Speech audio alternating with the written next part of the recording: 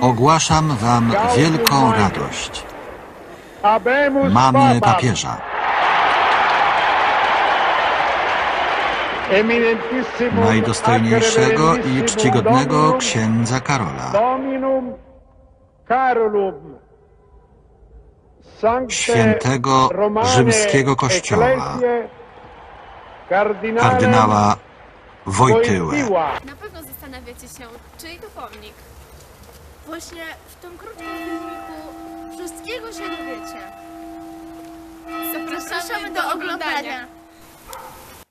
Jest to syn Karola Wojtyły i Emilii Kaczorowskiej i brat swojego rodzeństwa Edmunda i Olgi, której nie zdążył poznać, ponieważ zmarła przed jego urodzeniem.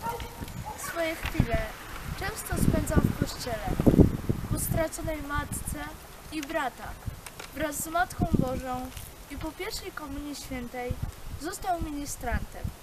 I po latach zdanej maturze na celujący opuścił Wadowice wraz z ojcem i przenieśli się do Krakowa. Zaczyna studiować w wieku 18 lat polonistykę na Uniwersytecie Jagiellońskim w Krakowie. Lecz to wszystko przerywa wojna. I 18 lutego 1941 roku umiera ojciec Karola. Lecz wiara pomogła mu przetrwać i stać się silniejszym, pracując ciągle w kamieniołomach. Przed pracą zawsze uczęszczał do kościoła się modlić i okazało się, że znalazł w sobie powołanie kapłańskie. W 1942 roku udaje się do seminarium i zostaje kapłanem w 1946 roku. Żył bardzo skromnie w małej wiosce, uczył dzieci w szkole, pomagał chorym, dzieli się wszystkim, co ma. Wyjeżdża do Krakowa, gdzie pełni rolę księdza. Zostaje biskupem w wieku 30 lat w 1958 roku.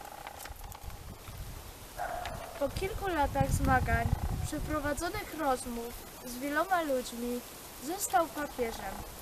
16 października 1978 roku była to niesamowita radość Polaków.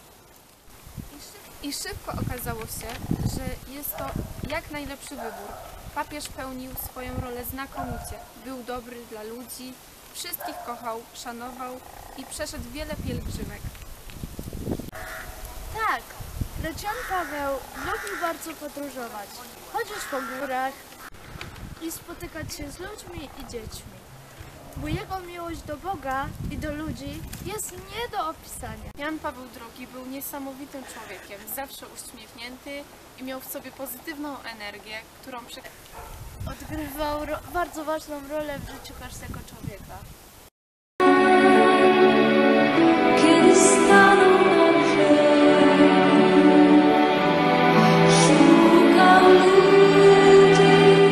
Lo hanno chiamato